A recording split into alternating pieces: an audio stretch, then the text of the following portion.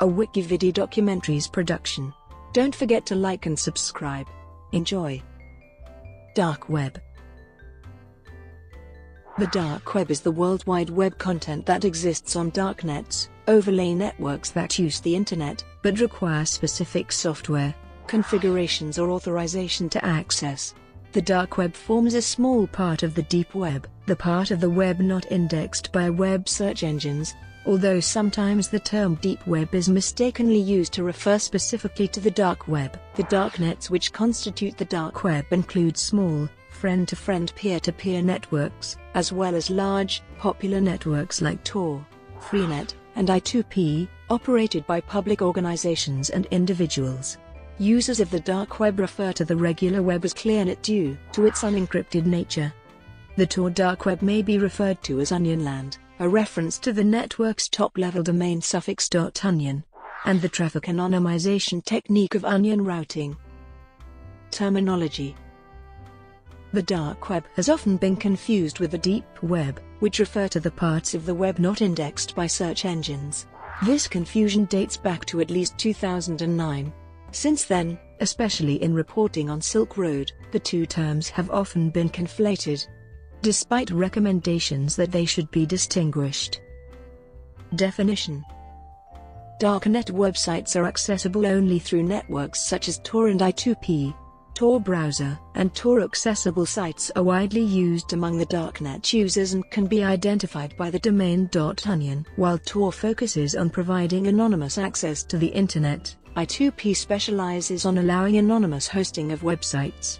Identities and locations of darknet users stay anonymous and cannot be tracked due to the layered encryption system. The darknet encryption technology routes users' data through a large number of intermediate servers, which protects the user's identity and guarantees anonymity.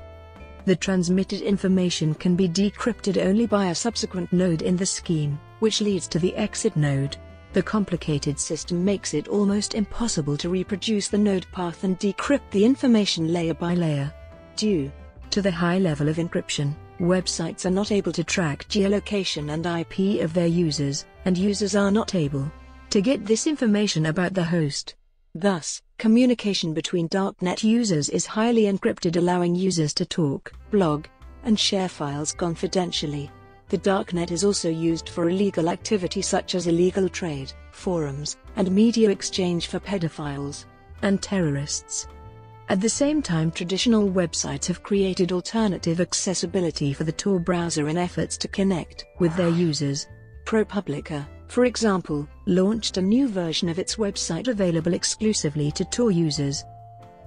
Content a December 2014 study by Gareth Owen from the University of Portsmouth found that the most commonly hosted type of content on Tor was child pornography, followed by black markets, while the individual sites with the highest traffic were dedicated to botnet operations. Many whistleblowing sites maintain a presence as well as political discussion forums. Sites associated with Bitcoin, fraud-related services, and mail order services are some of the most prolific. To counter the trend of controversial content, the artist collective Cybertwee held a bake sale on an Onion site. In July 2017, Roger Dingledine, one of the three founders of the Tor project, said that Facebook is the biggest hidden service. The dark web comprises only 3% of the traffic in the Tor network. A more recent February 2016 study from researchers at King's College London gives the following breakdown of content by an alternative category set highlighting the illicit use of dot .onion services. Botnets Botnets are often structured with their command and control servers based on a censorship-resistant hidden service, creating a large amount of bot-related traffic. Bitcoin services Bitcoin services such as tumblers are often available on Tor, and some such as Grams offer darknet market integration. A research study undertaken by Jean-Loup Richet, a research fellow at ESSEC, and carried out with the United Nations Office on Drugs and Crime, highlighted new trends in the use of Bitcoin tumblers for money laundering purposes. A common approach was to use a digital currency exchange a service which converted Bitcoin into an online game currency that will later be converted back into money. Darknet markets Commercial darknet markets, which mediate transactions for illegal drugs and other goods, attracted significant media coverage starting with the popularity of Silk Road and Diabolus Market and its subsequent seizure by illegal authorities. Other markets sell software exploits and weapons. Examination of price differences in dark web markets versus prices in real life or over the World Wide Web have been attempted as well as studies in the quality of goods received over the dark web. One such study was performed on Evolution, one of the most popular crypto markets active from January 2013 to March 2015. Although it found the digital information, such as concealment methods and shipping country, seems accurate, the study uncovered issues with the quality of illegal drugs sold in evolution, stating that the illicit drugs purity is found to be different from the information indicated on their respective listings. Less is known about consumer motivations for accessing these marketplaces and factors associated with their use. Hacking groups and services Many hackers sell their services either individually or as a part of groups. Such groups include Xdedic, Hack Forum, Trojan Forge, Mazafaka, Dark and the, the Real Deal Darknet market. Some have been known to track and extort apparent pedophiles. Cybercrimes and hacking services for financial institutions and banks have also been offered over the dark web. Attempts to monitor this activity have been made through various government and private organizations and an examination of the tools used can be found in the Procedia Computer Science Journal. Use of Internet-scale DNS distributed reflection denial of service attacks have also been made through leveraging the dark web. Many hacking groups such as Code Green also recruit hackers depending on their skills. There are many scam.onion sites also present which end up giving tools for download that are infected with Trojan horse or backdoor.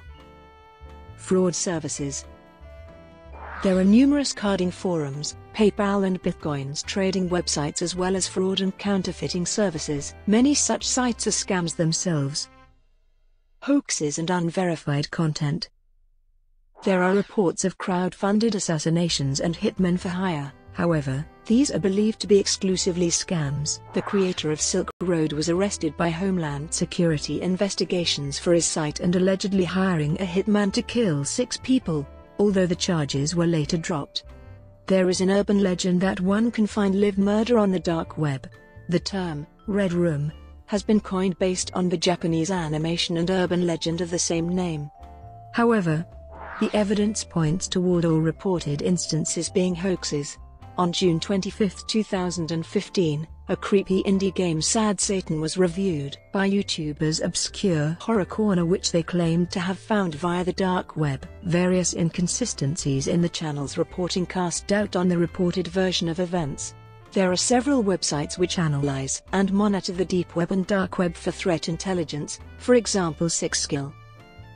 Puzzles Puzzles such as Cicada 3301 and successors will sometimes use hidden services in order to more anonymously provide clues, often increasing speculation as to the identity of their creators.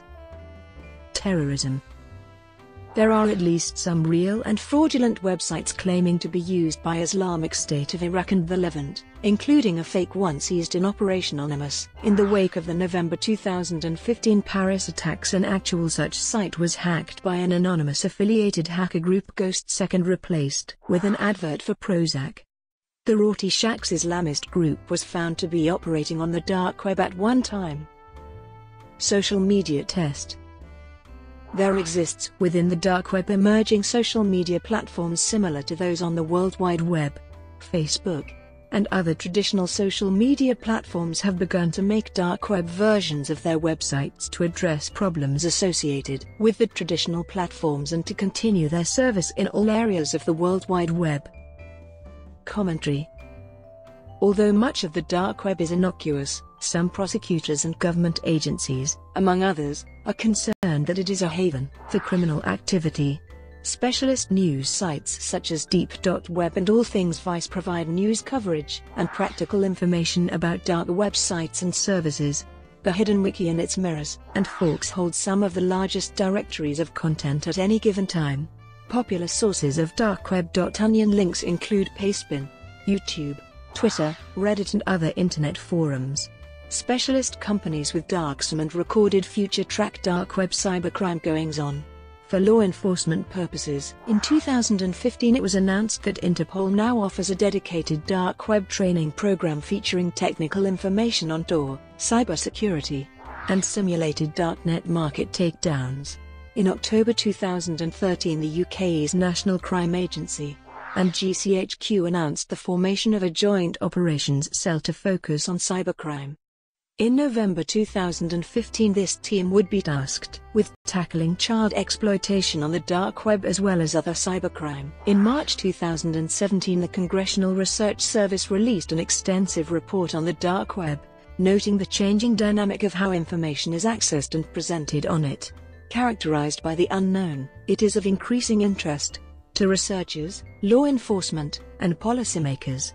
In August 2017, According to reportage, cybersecurity firms which specialize in monitoring and researching the dark web on behalf of banks and retailers routinely share their findings with the FBI and with other law enforcement agencies when possible and necessary. Regarding illegal content, the Russian-speaking underground offering a crime-as-a-service model is regarded as being particularly robust.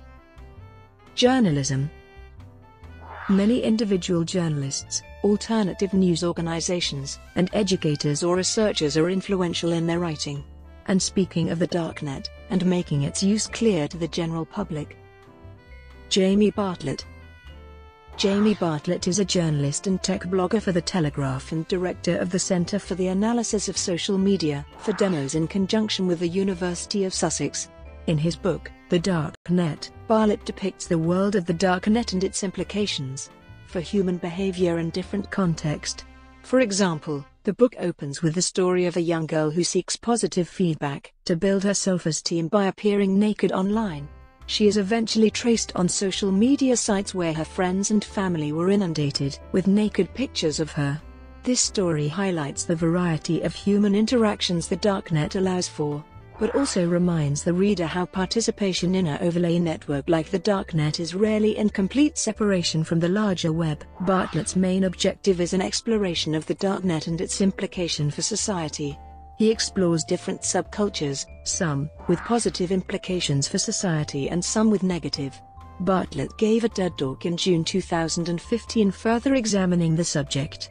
His talk, entitled How the Mysterious Darknet is Going Mainstream, introduces the idea behind the darknet to the audience, followed by a walkthrough example of one of its websites called the Silk Road. He points out the familiarity of web page design similar to consumer sites used in the larger commercial web. Bartlett then presents examples of how operating in an uncertain, higher risk market like those in the darknet actually breeds innovation that he believes can be applied to all markets in the future. As he points out, because vendors are always thinking of new ways to get around and protect themselves, the darknet has become more decentralized, more customer-friendly, harder to censor, and more innovative. As our societies are increasingly searching for more ways to retain privacy online, such changes as those occurring in the darknet are not only innovative, but could be beneficial to commercial online websites and markets. Other media Traditional media and news channels like ABC News have also featured articles examining the darknet. Vanity Fair magazine published an article in October 2016 entitled, The Other Internet. The article discusses the rise of the darknet and mentions that the stakes have become high in a lawless digital wilderness. It mentions that vulnerability is a weakness in a network's defenses. Other topics include the e-commerce versions of conventional black markets, cyber weaponry from the real deal, and role of operations security. Brought to you by Wikividi Documentaries. Would you like to know more?